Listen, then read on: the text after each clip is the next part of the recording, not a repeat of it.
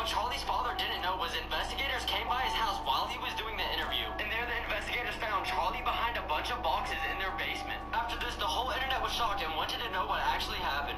After further investigation was done, it was actually said that Charlie's parents were trying to fool everyone. So Charlie was actually in his own basement the whole time. Not only was he forced into this basement, but he was strangely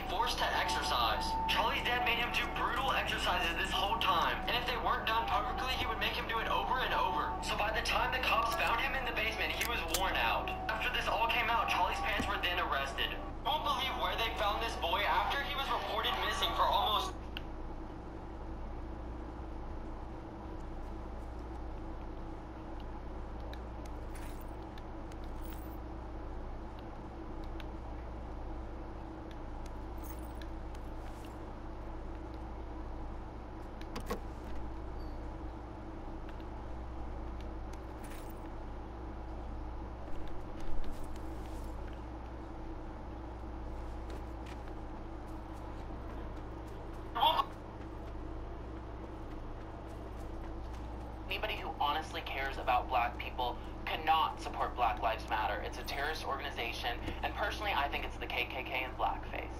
Change your name to policehaters.com because that's what you do. You hate police. You're not about police brutality. Black Lives Matter should be about all black lives. It should be about black on black crime in Chicago. It should be about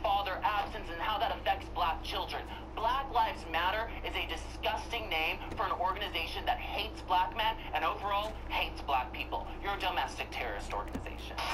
We uh, are trained Marxists. Um, when racism, direct racism, wasn't working for the Democrat Party because Republicans came in and put an end to Jim Crow laws, put an end to slavery, it was the Republicans who championed civil rights. The Democrats had to switch to, okay, well, we can't be directly racist anymore, so let's just pretend we like black people. Anybody who honestly cares